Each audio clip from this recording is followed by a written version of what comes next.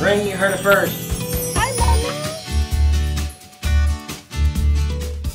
Hey there, I'm Crystal with Ring. Up next in Neighborhood Stories. No photographer, no problem. Our Ring neighbor Adam used his video doorbell to help capture an exciting moment. Grab the tissues because Adam and Rebecca's video has all the feels.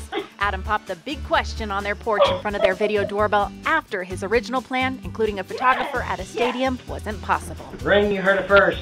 We're getting married! We're getting married! I was very surprised, super thrilled. Love that he got it on video. Being able to share that with everybody was so excited and it made their day and week and I like that's needed more than ever. Oh, It just doesn't get any sweeter than this. One year old Genevieve is learning Spanish and how to use the video doorbell from her grandma. We see she's got besitos or kisses down and blew one to her mom Jennifer, who's an essential worker. In this video, she was pressing the button and she offers me a flower. And you know, it's just cute. I was at work, it kind of makes the day go by better.